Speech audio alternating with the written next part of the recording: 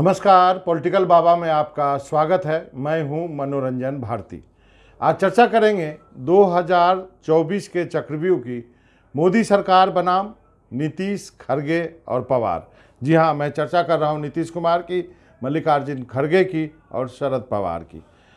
2024 के लोकसभा चुनाव में भले ही एक साल का वक्त अभी बाकी है लेकिन राजनीतिक दल जो हैं, अपनी तैयारियाँ उन्होंने शुरू कर दी हैं।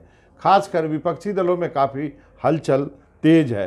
विपक्ष के कई नेताओं को लगता है कि जो एकजुटता का परिचय समूचे विपक्ष ने राज्यसभा में दिया या संसद में दिया और जिस ढंग से पूरा जो संसद का बजट सत्र था, वो नहीं चल पाया, उस एकता को जारी रखने की ज़रूरत है।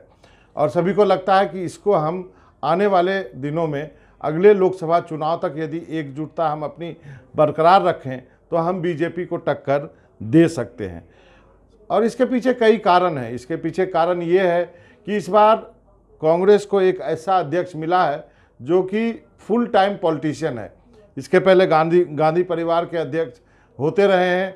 सोनिया गांधी को लोग स्वीकार करते रहे हैं क्योंकि सोनिया गांधी ने यूपीए वन और यूपीए टू के चेयरमैन के रूप में चेयरपर्सन के रूप में काफ़ी अच्छा काम किया। सभी सहयोगी दलों को वो साथ लेके चली। सरकार दस साल चली। लेकिन बहुत सारे विपक्षी दलों को राहुल गांधी का नेतृत्व स्वीकार नहीं है। एक शायद हो सकता है कि राहुल गांधी अभी उतने परिपक्व नहीं हुए राजनीति में, दूसरे उनकी उम्र कम है, तीसरे उनके पास दिखाने के लिए कुछ नहीं है।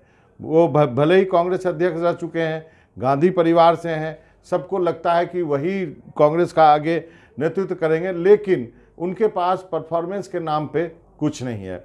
यही वजह है कि इस बार कांग्रेस को एक गैर गांधी अध्यक्ष के रूप में मिला है, मल्लिकार्जुन खड़गे।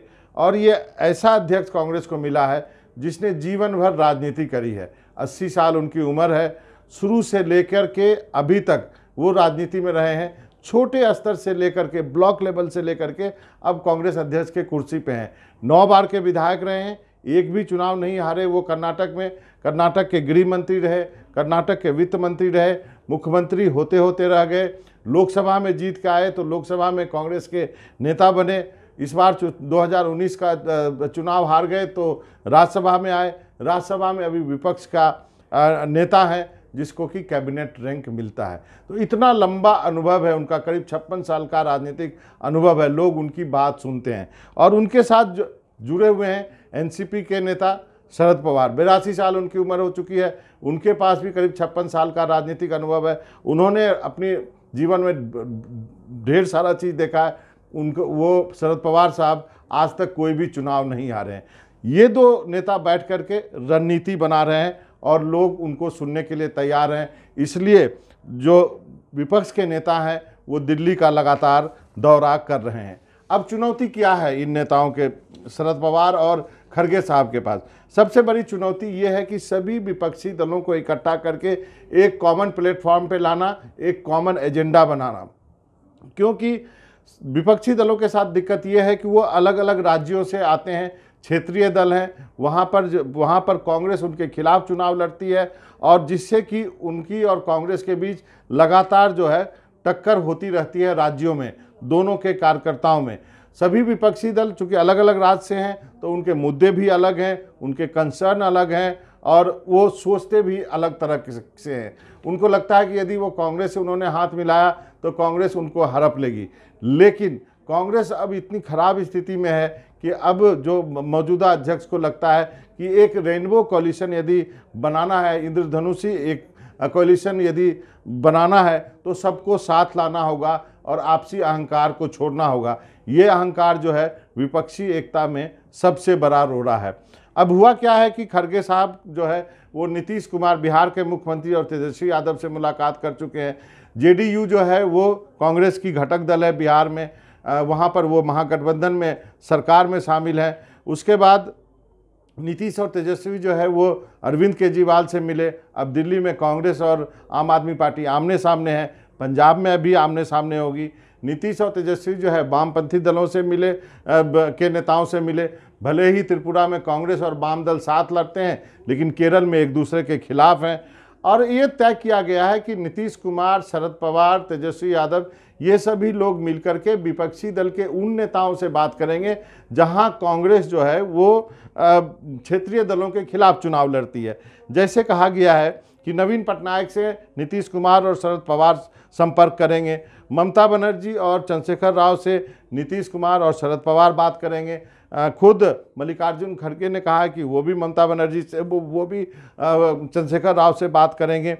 साउथ के जो चीफ मिनिस्टर्स हैं, जैसे तमिलनाडु के स्टालिन है, वो कांग्रेस के सहयोगी हैं, वहाँ पर दोनों सरकार में है। उन, उनसे भी बात की की जा रही है कि वो दक्षिण राज्यों के चीफ मिनिस्टर से बातचीत करें। एक चीफ मिनिस्टर्स का गैर बीजेपी चीफ मिनिस्टर्स का एक अपना ग्रुप है जिसकी एक बैठक दिल्ली में होने वाली है, जिसकी अगुवाई एक तरह से अरविंद केजरीवाल में दिल्ली के मुख्यमंत्री होने के नाते कर रहे हैं। उनका एक अलग गुट है। पिछले दिनों सोशल जस्टिस के नाम पर स्टालिन ने दिल्ली में एक कॉन्फ्रेंस किया था, जिसमें कि अशोक गहलोत और बाकी नेता भी शामिल हुए थे। तो इन सबको लेकर के आप कह सकते हैं कि विपक्षी दलों के नेताओं का मिलना जुलना हाल के दिनों में काफ़ी बढ़ा है और विपक्षी दल के नेताओं ने आपस में काम बांट लिए हैं। जगन मोहन रेड्डी, जो कि आंध्र प्रदेश के मुख्यमंत्री हैं वाईएसआर कांग्रेस के, उनसे शरद पवार बात करेंगे क्योंकि वो काफ़ी महत्वपूर्ण हो जाएँगे। लेकिन तब तक इंतज़ार किया जा रहा है जब आंध्र प्रदेश में बीजेपी और चंद्रबाबू नायडू का गठबंधन होता है। जगन मोहन रेड्डी अकेले पड़ते हैं, तब जाकर विपक्ष के नेता उनको मनाने की कोशिश करेंगे। दूसरे जो एक अनबन जो महाराष्ट्र में हुई थी, राहुल गांधी के सावरकर के बयान को लेकर के, हालाँकि बाद में एक विपक्ष के मीटिंग में शरद पवार ने राहुल गांधी को कहा था कि वो ऐसे मुद्दों पर बयान देने से बचें जो उनके सहयोगी दलों के लिए बहुत भावनात्मक है, इमोशनल इशू है। राहुल गांधी ने कहा था, उसके बाद राहुल गांधी की जो है शिवसेना के नेताओं से बातचीत भी हो गई थी। अब जो बात आ रही है कि वेणुगोपाल जाएँगे, उद्धव ठाकरे से मिलेंगे और बाद में राहुल गांधी खुद महाराज जाएँगे और उद्धव ठाकरे से मुलाकात करेंगे और सावरकर के मुद्दे पर वो नहीं बोलेंगे, ऐसी बात वो कह के आएँगे। अब ये कहा जा रहा है कि इस महीने के अंत में विपक्षी दलों के नेताओं की एक बड़ी बैठक होगी दिल्ली में और उसके बाद मुद्दे तय करके कॉमन एजेंडा तय करके फोकस्ड इशू तय करके बाकी देश देश भर में इन विपक्षी दलों के नेताओं का दौरा शुरू होगा। एक बहुत ही मुश्किल काम है। कहा जाता है कि विपक्ष के नेताओं को इकट्ठा करना जो है मेढक तोलने के समान है, एक को रखेंगे तो दूसरा उछल के बाहर चला जाएगा। लेकिन आप यकीन मानिए, दो सबसे जो अनुभवी और वरिष्ठ नेता भारतीय राजनीति के इस काम में लगे हैं, देखता है, देखना है उनको कितनी सफलता मिलती है। पॉलिटिकल बाबा में आज इतना ही। मनोजन भारती को इजाज़त दीजिए। नमस्कार।